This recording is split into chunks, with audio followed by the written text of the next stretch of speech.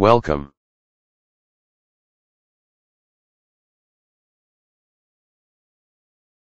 To draw an octagon if the distance across corners is given, first, draw a circle equal in diameter as the given distance across corners. Next, draw horizontal and vertical line passing through the center of the circle.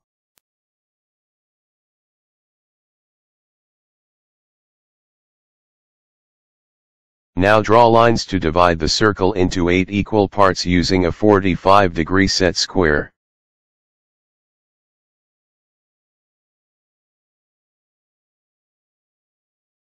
Join the points where lines of division intersect the circle.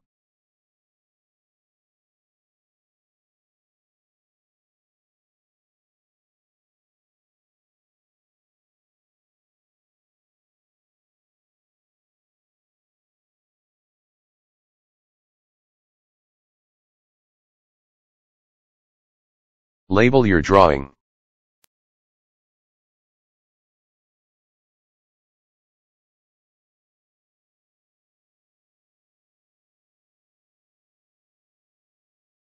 The octagon has been drawn successfully. Thank you for watching this video. Please subscribe to this channel.